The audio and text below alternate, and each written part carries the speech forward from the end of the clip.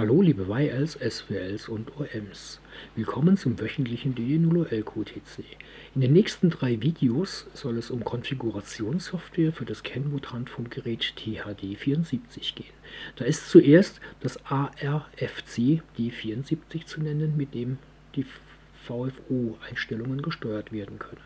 Dann das MCP D74, auch von Kenwood. Es dient dazu, die Speicherkanäle zu verwalten und auch die Settings zu konfigurieren. Und als letztes gibt es den THD74 Programmer von RT Systems, mit dem auch die Speicherkanäle und die Konfiguration vorgenommen werden kann. Heute also das RFC D74 Programm von Kenwood, mit dem der VFO gesteuert wird.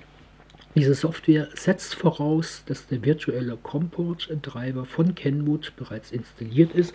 Es gibt ihn kostenlos zum Runterladen auf der Webseite von Kenwood mit einer Google-Suche nach Kenwood THD74 Download beispielsweise findet sich die Seite leicht. Also muss zuerst dieser THD die 74AE Virtual Comport Treiber runtergeladen werden, installiert werden. Das ist kein Rocket Science, das funktioniert straightforward und sobald der drauf ist, kann man das Frequency Control Program ARFC D74 runterladen, auch installieren. Und wenn es dann installiert ist, ist es an der Zeit, das Kenwood-Gerät mit dem USB-Kabel mit dem PC zu verbinden der Treiber sollte es erkennen. Man hört es dann auch am typischen Klick-Klick von Windows, sobald ein USB-Gerät angeschlossen und erkannt wurde. Jetzt kann die Software gestartet werden mit einem Doppelklick auf dem Desktop. Es dauert ein Weilchen, bis es geladen wird. Vielleicht sollte man die andere Software auch noch schließen. Und wenn das Programm zum ersten Mal startet, muss man festlegen, auf welchem COM-Port das Kenwood-Gerät läuft und konfiguriert ist. Bei mir ist das COM27. Es gibt im Gerät COM3, COM4, dann kommt lange, lange nichts und als nächstes kommt COM27. Das ist dann dieser virtuelle Treiber von Kenwood. Und jetzt läuft die Software. Das Gerät nimmt die Verbindung auf und wir hören es schon am Rauschen. Jetzt ist es verbunden. Tatsächlich kann man nicht sehr viel machen mit dieser Software. Der VFO lässt sich steuern. Ich kann die Frequenz einstellen. Mit der Maus kann ich sie steuern, mit dem Rädchen der Maus oder aber auch mit den Maustasten. Gehe ich beispielsweise hier auf 145, 325, dann höre ich dort den Deutschlandrundspruch laufen. Ich kann in der Software die Modulationsarten einstellen, FM, AM, Lower Sideband, Upper Sideband. Das ist allerdings alles sehr, sehr eingeschränkt funktioniert, auch nicht immer.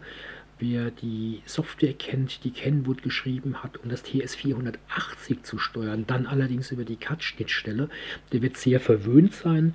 Das sieht im Kontrast dann so aus, dass ich wirklich ähm, das Gerät ein- und ausschalten kann, die ganzen Settings verwenden, ähm, den Scanlauf starten und vieles mehr und eben auch senden kann damit.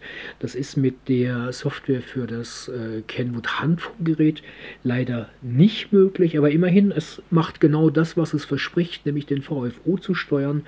Es steuert auch die Lautstärke. Deutschlandrundspruch, Multimedia-Reportage. Das allerdings ist der Ton, der aus dem Lautsprecher des Handfunkgeräts selbst kommt. Es ist nichts, was jetzt auf den Computer umgeleitet wird. Ja, was gibt es sonst noch zu sagen über diese Software? Äh, man kann Frequenzlisten anlegen und sich dort Speicherkanäle festlegen, wie ich das hier mit dem Deutschlandrundspruch auf der 145.325 äh, machte. Da kann noch mehr rein, man kann es reinkopieren, editieren und dann entsprechend aufrufen.